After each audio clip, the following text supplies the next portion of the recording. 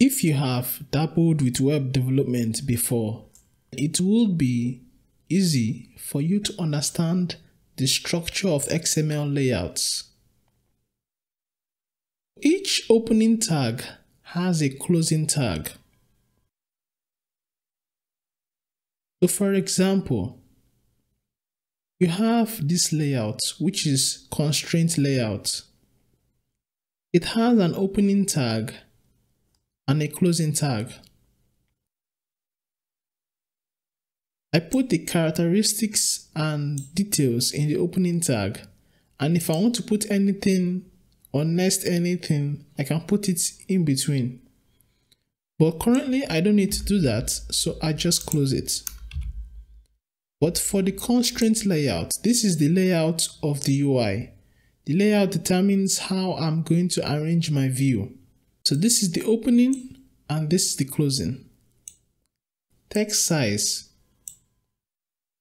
specifies how big the text is going to appear. So imagine if I turn this to 53. Did you see how big it turned? I turned it to just 3. Now very tiny. So I'll leave it at 23. The text, as the name implies, determines what is displayed. I can easily change it. And you see it did reflect. You also have the constraints. So if we go to the design, we can see the constraints over here. I'll talk more on constraint layouts in coming lessons. If you want to edit the features, you can easily go to the XML code. If you feel you don't really want to deal with XML, you can edit using the editor here. So the things we could do here, we can as well edit it here. You can see text you can edit the text here you can edit the text size and a lot sometimes you might just want to edit something quickly without having to deal with XML code. You also have app manifests, which has the same structure of opening tag and closing tag.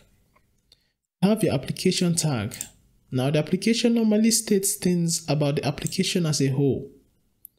Now, each activity has a tag. Normally, it specifies which Java class is handling this activity.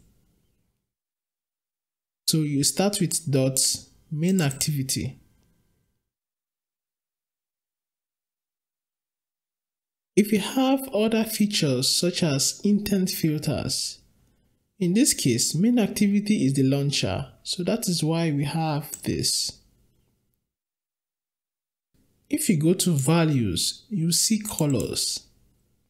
Now, this states the colors that are being used in the application. By default, you might see a green, green, pink color. You can easily change it let's say I change this to green, this to yellow, this to another yellow.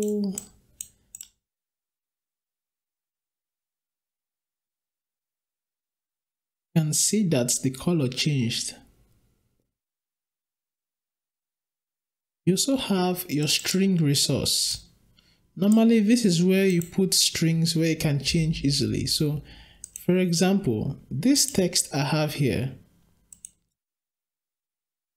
if I make it a string resource, so if I create a string, let's say a string, I'll call this hello, that's the name of the resource. Then the actual value of the resource, I'll say, hey there. So if I go back to my activity main, instead of doing this, I will just simply say at string hello. So this will simply go to the string resource and look for hello. and hello says hey there and then it prints it out. Now this has an advantage because I can have different resources for different languages. And by the time I want to change it, I don't need to go to every single activity to change it manually. You're normally advised to keep your strings in the string resource. You have your icon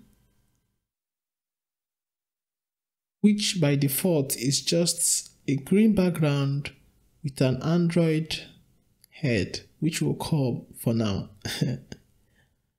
so you can always change that. And have your drawables. This is where we would normally keep our artwork and graphics for the application. Things like our PNGs or vectors we can keep them here. Those are the files we would be using often. With time, you would become very comfortable with Android Studio and developing Android. That even if I woke you up from sleep, you will still be able to get your way around Android Studio.